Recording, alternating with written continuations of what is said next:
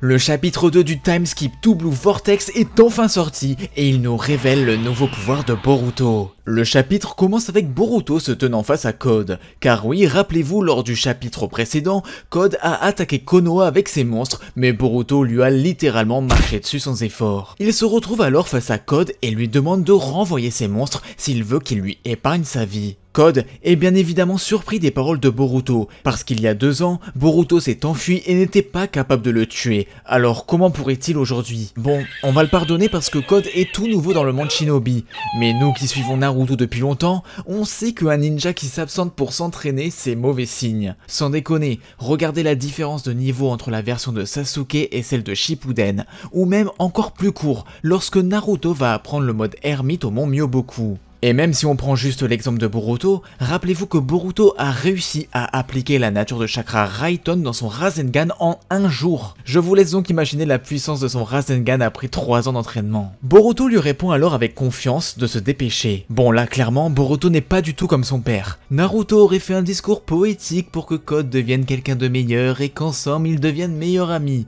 Non, Boruto il a pas le time, soit tu fais ce que je te dis, soit tu meurs. Boruto indique ensuite à Sarada de s'occuper des autres monstres, mais Sarada a bien remarqué que Boruto avait changé, et lui demande s'il va bien, ce à quoi Boruto répond qu'ils en parleront plus tard, et lui ordonne de rester en vie. Boruto ne veut donc pas avoir de distraction avant son combat, car Code est un ennemi où il faut rester très concentré à cause de ses téléportations. En bref, il est aussi chiant que Minato, quoi. Pendant ce temps, de l'autre côté de la ville, le trio Ino Shikacho fait encore preuve de coopération remarquable afin de terrasser les ennemis. Cependant, Imawari tombe de l'oiseau de Inojin et comme dans le chapitre 32 de Boruto, Kawaki vient secourir Imawari. Imawari remercie Kawaki en l'appelant frère, mais Kawaki lui dit de ne pas l'appeler ainsi. Attends, mais Kawaki a passé l'intégralité du manga à chialer car il n'avait pas de famille, et là maintenant que Imawari pense que c'est son frère, il la rejette quelle ingratitude. Bon, je vous laisse deviner que après avoir mis le doute à Mitsuki avec son comportement, bah là, il met le doute à Imawari,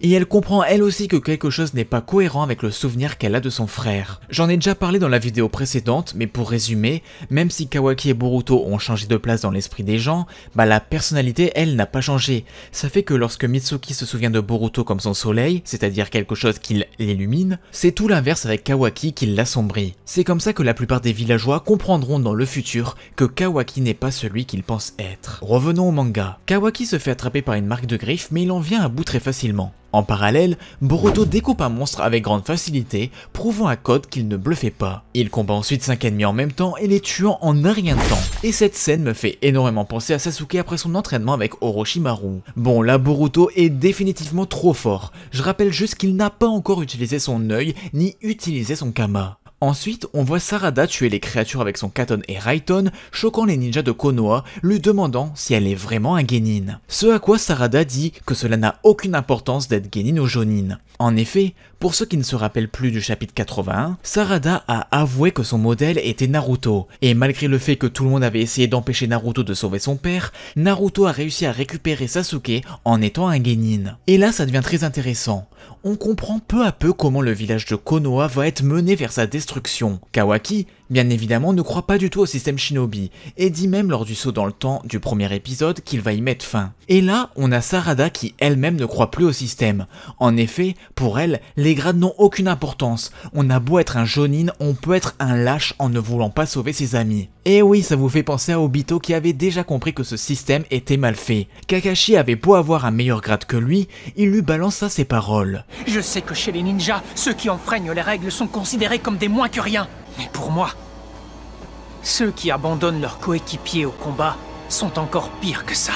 Il ajouta même que pour lui, le Cro-Blanc de Konoha était un véritable héros car il a sauvé ses amis et le système l'a poussé au suicide. La série Boruto commence enfin à prendre une tournure plus sombre. De plus en plus de ninjas sont en train de défier le système shinobi et j'ai hâte de voir comment ça va finir. Sarada se fait ensuite surprendre par derrière mais est sauvé par un shinobi et soudain la créature se transforme en arbre. Bon c'est déjà quelque chose qu'on a déjà vu avec les Zetsu, donc rien de choquant venant de créatures conçues à partir de Jubi. On comprend également que leur but est de manger un Otosuki afin de recréer une fois de plus un arbre. Sauf que cette fois, Boruto dit que c'est différent car effectivement Code a changé ses créatures et qu'elles vont devenir hors de contrôle. Boruto lui dit que s'il ne se débarrasse pas de ces créatures, ça sera le pire des futurs pour tout le monde. Cette phrase est très intéressante, car elle laisse sous-entendre que Boruto est capable de voir dans l'avenir. Alors, est-ce que ça serait Momoshiki qui lui aurait parlé de cet avenir, comme il l'a déjà fait avec le dessin tragique de Boruto comme quoi ses yeux le déposséderont, ou alors le petit œil que cache Boruto là depuis le début pourrait bien lui accorder ce pouvoir? Bref, Boruto lui dit qu'il peut le battre facilement et qu'il est dans son intérêt de coopérer, mais Code refuse. On assiste alors à Boruto préparant sa nouvelle technique,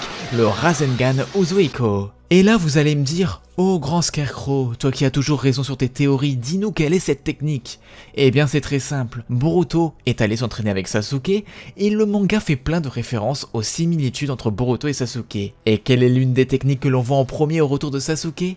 Le flux des mille oiseaux. Et on peut aussi le voir lors de la préparation de sa technique, il y a des effets autour de Boruto, ce qui laisse indiquer que le chakra sera tout autour de lui. Donc ça sera un genre de flux des mille oiseaux combiné au Rasengan.